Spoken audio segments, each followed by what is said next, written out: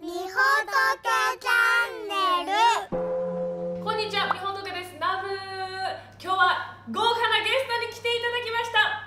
松村邦弘さんです。ナムー。松村邦弘です。ありがとう。松ムーですよ。はい。松ムー松ムーナムーですよねお願いします。お世話になります。はい、ためにならないチャンネルとのコラボというそうことで。です嬉しいですね。嬉しいですね。うん。あのもうたっぷりと松村さんのチャンネルでもいろんな話したんですけども、ね。こちらでも引き続き。嬉しい。だって鎌倉の生え抜きじゃないですか鎌倉で 生まれ育ったわけだからいやいねやいや、うん。いやでもやっぱこの山口生え抜きっていうのも山口ねまあ長州の長州のまあどっちかというと俺周防の方だけど生え抜きですよ生え抜きの、ははいい、あのコラボまあちょっと経緯なんですけれども松村のラジオに。松村のラジオって何？すいません松村君って言っちゃいました。松村のラジオに出ました松村君普段言ってるからじゃないですかなんか。お国自慢でしょ松村邦弘のお国自お慢国自慢という、はい。ラジオに呼んでいただきまはい。そこでお話しさせていただいてめちゃめちゃ楽しいなと思って、はい。私の方からぜひ YouTube やらせてくださいとちょっともうぶしつけながら僕はねあのみおとけちゃんに乗っちゃおうかと思って。いやー私来ましたよ私乗れる本当に。でもありがとうございます。いやー嬉しいですね。ラジオでも松村さんのチャンネルでも話したんですけれども、はい。私のチャンネルでもやっぱり鎌倉の話、うんうん。鎌倉殿と13人の大河ドラマの話、はいやっぱりね13ってねいいんですよね。13日の金曜日ってよくないかもしれないけど、はいはいはい。アポロ13とかね。13ってあれ数字いいんですよね。あそうですこれだ梶原掛時が辞める時に66人の嘆願書が出たわけじゃない、はい。俺梶原の掛時と66人っていうタイトルにしてほしかった。67マイナス1とか、マイナス1時政逃げるなよみたいなサブタイトル。サブタイトルなんです。いやでもそれぐらい掛け時の印象的でしたね。いやーそうですね。時はやっぱり立役者っていうのありましたね。今ちょうど、うんはいあの掛け時の編っていうものが放送された直後の収録なので、そう最終ね回ですけれども、刀はこう切り手によってはい。生倉にもなる、うーまあ名刀にもなる鎌倉にもなる御仏にもなるって言ってほしかったね。名乗ったように指導さん に。急に指導さんに言ってほしかったね急に白くしたらもうぶち殺されますよその瞬間に。もう俺体見てるとなんか梶原のかけ時があのなんだろう欧州の、はい。あの方にはい。ちょっとこう流罪だっつって、そうですね。欧州の方に流罪に行って、そこで義経が生きてたら面白いよね。いや面白い。ですね常々チャンネルでも義経が生きてるんじゃないかっていう説も唱えてらっしゃるじゃないジンギスですかカンに行くなったっていうのはもう間違い難しいんですよ、はい。可能性ないと思うんですけど、あの辺りまだうろうろしててそれで梶原のかけ時が流罪になったところにはい来て会って一緒に頼朝滅ぼそうっつったら面白いって面白いですね。あの二人がこう共通の敵を見つけてこうタッグを組んだ瞬間が一番強いですからね、後鳥羽上皇を求めて西に行くんじゃなく、はい。本当に流罪に行ってそこの場所で頼朝よあの義経と会ったら。熱い展開ですね。ねえ、クローズのにござるかな？クローズのとおみゆきしたが。おお影時いたのかみたいな感じで。ねえ来たら面白いよね。横に弁慶もいてね弁慶もいてね。こう言ってほしいですみんねな実は死んでなかった。いいですね。出川さんがね、はい。もう出川さんにあの義経来週亡くなりますよ。まっちゃん言っちゃダメだよ。俺はね頼朝と義経は仲良く終わると思ってたんだから。がっかりだよ。いやいや出川さんね義経は滅ぼされるんですよ頼朝これあのあのあのみんな分かってることなんだ。よまっちゃんなんでまっちゃんあらすじ全部言っちゃうのよ。俺は毎週見てんだから13人の鎌倉殿って。鎌倉殿13人もいないって言うんですよ。本当にその多すぎる。大喧嘩に大喧嘩なんですよねドラマとして純粋に楽しまれてるんですね、うん。出川さんは歴史あの、はい。真っ白のまま見てるから。素晴らしいですね。だからすげえ新鮮で面白いです一番その熱くなれる状況ですよね。真っ白のまま見れるっていうのが。佐藤浩市さんが殺されるなんて思わなかったよ。あの殺し方びっくりだよ。佐藤浩市さんがいやいや出川さんあれ上総介広常って言うんですよ。佐藤浩市さんでしょ？名前難しいから佐藤浩市さんが殺される殺されるっつって、えまさか仲間内で見せしめにっていうのは知らなかった。思わなかった。梶原かけた時に、えー、いや刺されるとは思わなかった。はい、いやー本当に面白い。私は今後キーパーソンとなってくる人についてちょっと語りたいなと思はいはい私ちょっと後鳥羽上皇。うんうんこれからどうなるかなっていう。やっぱ西でこう北総でこうある感じで。だから頼朝がね馬から落ちたというのを当てるっていう名探偵コナンぶり。名探偵言葉っていうぐらい後鳥羽上皇はあーなんかねやっぱりね尾上松也さんでねやっぱり今日の人っていうやっぱりねあの後鳥羽上皇とか後白河法皇はやっぱあの歌舞伎の人がやった方がいいんですよ。そうですねやっぱこうこの京都のこのやんことないお顔立ちっていうのは歌舞伎の方がいいよな私も草ますの夜でも尾上松緑さんがやられてたりいや尾上の尾上の毛がやられてましたよ。はい、いいですうんね。やっぱあの顔がいいですよね。こうちょうどこの白い顔でこう目線がちょっとつり上がりながらこう馬から落ちたかっていうところでね。馬から落ちたかああ飲水で飲水の病であったな。そういえば頼朝は水を飲んでた。俺もやばいなと思った。俺もよく水飲むからあ俺もあれで飲水じゃねえかなって。自分の病気も大丈夫かなと思いながら見てたもんね。頼朝大丈夫かな。まあまあ一回頼朝より2年長く生きたからと55まで来たからいいかなと思ったけど。そうそうなんですよね。あれを感づく後鳥羽上皇はやっぱりやっぱりね後鳥羽上皇の1221年のはい。承久の乱、はい、そこがですよ。どうもめちゃくちゃ頭切れるっていうのはもう十分わかってますからね。だけど、はうんそれがまああの熊野のね、えー参見に熊野でこう参拝に行くようなふりして実は西国の大名を集めて軍事訓練をやって承久の乱でこうなっていく、うん後鳥羽上皇ってやっぱり朝廷なんで幕府ってやっぱり下請けの制作会社ですから。そうですね。ほんもともとの仕組みはそうですよね。まあ、朝はい廷の言うことを聞かないとやっぱりこう難しいっていうところでの鎌倉の武士たちと朝廷のこの戦いはいこうこれがひっくり返る戦いを今までこれ2つの二元政治なわけですよそうですね。まあ京都は京都、鎌倉は鎌倉。幕府ってこれはい二元政治なんでこれを完全に幕府が逆転で勝つっていう流れにするための部分っていうのは後鳥羽上皇を倒すっていうのは後鳥羽上皇ちょっとこうかなりこう強く置くんでしょうね。そうでしょうね。雅子があのスピーチね、これ雅子のスピーチね、しょうがないけど、あれ結構大江の広元が原稿書いてね、多分僕の予想ですよ。大江の広元が原稿書いて、あのシェイクスピア劇団のように何回も稽古したと思いますよ。うん海よりもあ深く、山よりも高く、あおさおお殿様のご恩をよれ我々はとなんとかまず書いてください。全部こう書いて、ここ強くお願いしますね。ここの部分ね。それはい、大江の広元がもう秋元康並みにこう。全部書いてて。それを演出は義時が。あ吉武あそうですねこう場所を用意姉上そこもうちょっと強くお願いします。もっと強く。あのなんでえ源氏のあ者たちが昔は官位をもらえるなんてもうめったなことではもらえなかった。それを頼朝公になって皆さんこうやって官位がもらえたんですよ。頼朝公へのご恩を忘れてはいけませんよ。ここちょっと強くいきましょうかねまさかもう一回いきますってもうまさかスピーチあのマイクないからあないねから地声ですからね。やっぱり発声もやったと思いますよ、前の日。やってましたねああ、あえあえいえいえあえいよって平尾正明音楽スクール並みにあのあえあえいえいえあえいよってちゃんと声も出すようなのも大江の広元と義時で相当練習してと。うん作家さんと演出家といて、うん。そこで皆さんの前でで舞台を用意してね。やったと思うでもしも今回はあの後鳥羽上皇と戦うわけなんで、はい。無本になるかもしれないのでね。あのもしよかったら、はい。あの本当に後鳥羽上皇側につきたい人はついても結構ですよっていうスピーチを入れたらそこに吉村のセリフが入ってくる、はい。そのようなものここには一人もおりませぬ やばいちょっと今ただ迫力に負けそうです。平六殿、はい。平六殿今何と言いました？そのようなものはこの鎌倉のご恩のために生きているものでございます。頼朝公へのご恩は海よりも高く深く山よりも高くでございます。それ私がさっき言ったセリフですけど。だけどちゃんとまた繰り返して返して。言ってみんながわーっとなって無本になってもいいんですか皆さん。そしたら義時のセリフがあるわけですよ。もう練習通り。芝居が。もうもうカメラのあのカメラワークもランスルーム出来上がってる。出来上がってる。もうでもう義時が。今三谷幸喜さんになってる。なってるんだよ。もう義時も無本ではないぞ。はい。無本というものがいるんだ。それは後鳥羽上皇こその本人だ。我々は勝つしかないんだ。うわーってやるセリフもちゃんと劇団のセリフが。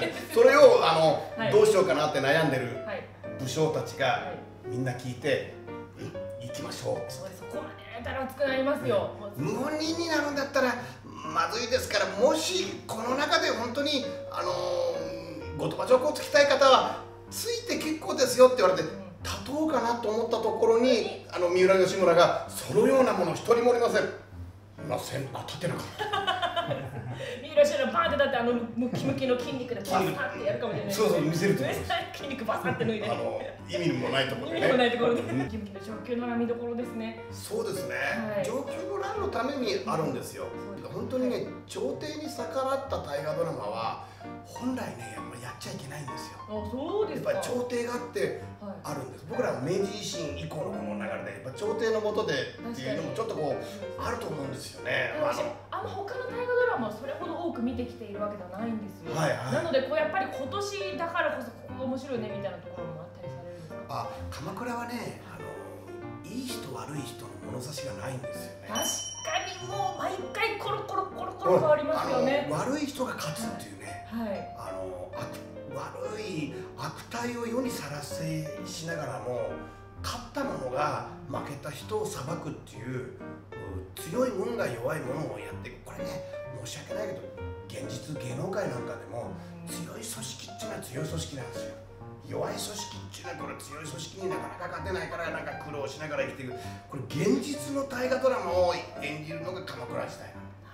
こうもうアウトレイジですもん平家滅ぼすまでが一丸となってたけどそね。だからもうそこっからもう鎌倉殿の13人ってこの13人揃ったその回にもうあの中原の地下あの上野広元の弟、はい。亡くなるあのあの京都行くし、はい。い、なくなるでしょ、ね。はい。で梶原来る時いなくなるでしょ？いなくなりま事したね。実上その回がもう鎌倉殿の11人になってる。もうどんどん減ってきますからね。どんどんもうもうはいベスト4とかなりますよ、あの決勝戦まで行って。準決勝が取らないの高校野球みたいなもんですよあの。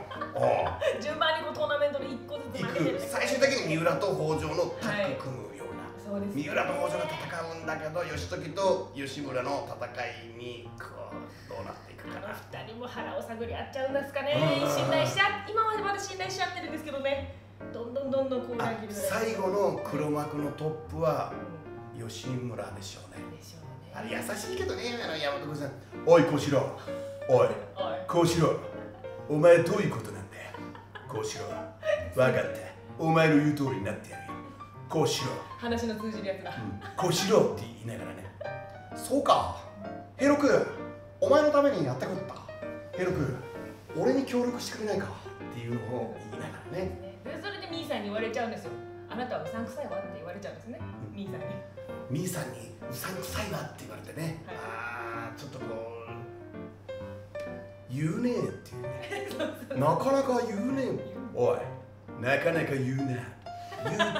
言う 言うっていうのがまたあの足立の影森の奥さんも言うじゃから。言うは何しに鎌倉へみたいなもん。でで夫についてきました？って。ついててきましたみたいな、はいちょっとこう流れがあるけどおやっぱり三浦の吉村が黒幕ですねその前のベスト8あたりで和田の吉盛が滅ぼされていく足立の森永も、まあ、いずれなくなっていく。だからまあ影森がうまく続くけれど、はい。あだけどあの13人の最終的な決勝戦は吉村 VS 義時。だから、あのー実際は鎌倉殿と2人ですよ。二人ですね。この大河は。最後はほん最後本当に。最終回鎌倉殿と2人になっていくのが面白いなと思いますね。だからそこでまさこがどう助けを出すかっていうのがやっぱりうんうんうん。ポイントだなってうん思います。そうですね。三浦の吉村がうまくねあの今度の執権義時がし義時はあの上級の乱の後に2年後に亡くなりますからはい。その後にあの、まあ、義時もねあの時政のこと言えないんですよ5歳以上の妻が好きなんですよなるほど。5歳が好きなのあの時政が陸が好きなようにあんだけピュアにしておきながら。小四郎も今度は伊賀が好きなの伊賀殿が。ね、だからお墓今そっちに入ってますよね確かに一緒に入ってるのが。あもうもうあの本当に、うん、伊賀殿の伊賀殿の役なんていう女性の名前なんかわからないけど、もう本当にねベロベロになると思いますよ本当の時政みたいに。陸の言う通りだリクさすがリクだなリクがこう、うん。一番下に名前を書きなさいそこに聞きなさいみたいなね。シャンって聞く切っていくようなね。ああいう。感じの伊賀が出てくると思います。いやーそっかー。結局ね男はねあの若い人好きなんですよに言いくるめられちゃうんですよ。ね、まあ、まあ、もう加藤千代さんも若い方が好きだった、はい。なんかこういいですよ。若い方と結婚されましたけど、ね小林久さんも若い方が好きで名前にお茶がついてる方も若い方が好きなんですよ。そうですか。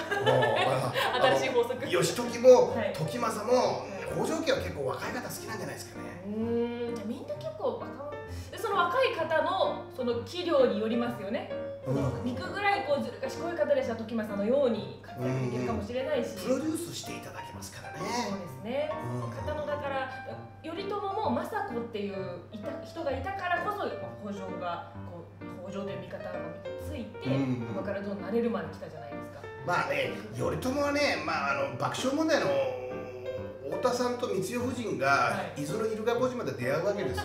あの平家というはい。全盛期の時代に、は平家追悼で立ち上がろうかどうしようかって迷いながらこのご夫婦のタッグにもうもうお金いっぱいあげますからうん。来てくれませんかっつって、まあ、あのい伊豆の豪族たちがじゃあ頼朝担いで世に出ようかと思ってこうぐわーっとこう来てあのやっぱり歩合制のお金でどんどん活躍したらどんどん歩合制のお金くれるからあれ？平家より給料いいじゃん。じゃあ源氏についちゃおうかなと思ってはい。歩合制のお金いっぱいもらえるから大きくなっちゃったはい。鎌倉という置屋ですよ。うん。鎌倉あーまあ鎌倉というあの芸能事務所が大。きくなっていくわけですよ、はで平家の芸能事務所がだんだん衰退していくっていう。八島一の谷壇の義経が全部戦のスペシャリストでやって頼朝がまあ祭りごとのスペシャリスト。兄弟仲悪いのしょうがないですよ。スペシャリストが違うんだかうら、ん。だからやっぱりそれで戦士が勝つってもしょうがないことですもんね。そうなんですよね。終わってしまったらもうその戦が得意な人はちょっと用事がなくなっちゃう義経はっていううね。うまあお仕事終わりですよね、はい、それがもう星平泉にっていう話。はーい。農業やりましたね。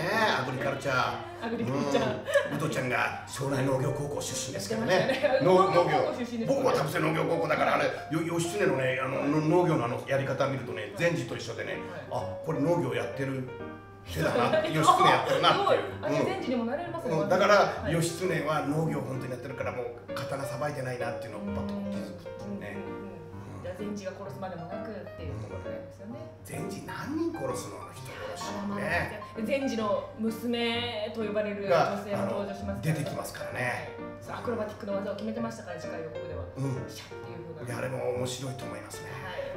小禅師ね女性だからやっぱりねやっぱり最終的に梶原善さんの番組みたいな感じで あれ梶原善さんのスピンオフを見てみたいんですよ。あ梶あ原善さんが主人公のスピンオフドラマをぜひ見たいんですよね。人殺しのね。はい、一日の追ったこう朝起きて夜寝るまで。意外と素朴な生活をしていてうその自分がこう殺しをする時だけこうシャキッと仕事人に変わるっていうこのうじゃないかなって想像してます。面白い。だからは梶原善さんが今まで殺した人たちのスペシャリストのやつのドラマ。そうですそうです。もうあのエヴァンコールいらないんですよ。エヴァンコール。でんでんでんでんでんでんでんでんでんでんっていうのあれいらない全部鳥の音オでー